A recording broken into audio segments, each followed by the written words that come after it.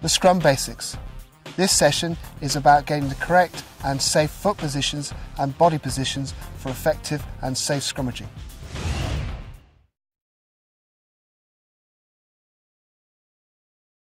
We're going to set this boy up to show him the best body positions. Okay, just stand straight, head in a neutral position, feet just um, about um, shoulder width, just outside shoulder width apart. Okay, what I want you to do is bend at the hips, keep your head like that. Now bend at the knees. Okay, right then. We should have a straight back here. Now, put your arms into this position here. Okay, and just lean forward into me. Lean forward into me. Okay, and up. Right, can we have someone else over here just to uh, pressure Angus, please? What I want you to do is just come in here so we can, uh, he can lean against you, Connor can lean against you. Right, feet again, just above shoulder width apart. He's just going to lean against you. Bend the hips first. Okay, and lean forward. Right, ideally we want a bit more of a bend, knee, knee bend there, angle there, up to there, and a straight back. Up we come. And we'll do that again. This time, make sure that your head here is in this shape. So when you bend forward, bend forward. He hasn't turned his head there or there. Okay? Okay. Hips first, knees, crouch, engage. Bend the knees a bit more. Right. His head is pointing that way. He's looking forward. Good arm position.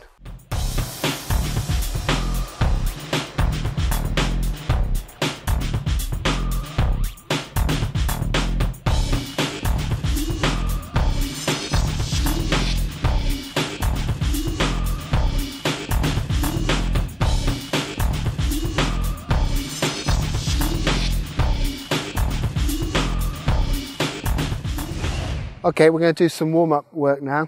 It's all about keeping the body rigid. Okay, if you go on the floor, please, Connor. Right, keep your body completely rigid throughout this. Angus, what I want to do is just roll them over, and you keeping your body rigid. So you're working on keeping this core rigid. Okay, off we go.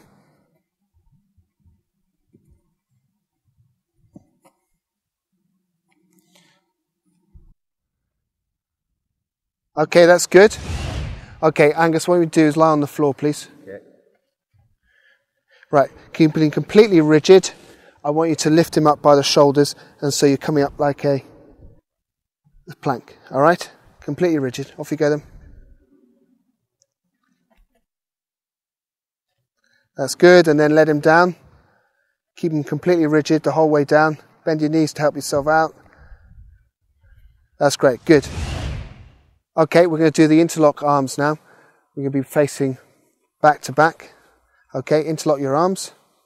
Okay, make sure your feet are good distance apart as if you were going to scrummage properly. Okay, keep your back straight, heads in a neutral position, so don't lean forward with your heads. Okay, I want you to bend your knees and up. Okay, just put your feet a bit further away so you're leaning on each a bit each other a bit more. A bit further apart, okay.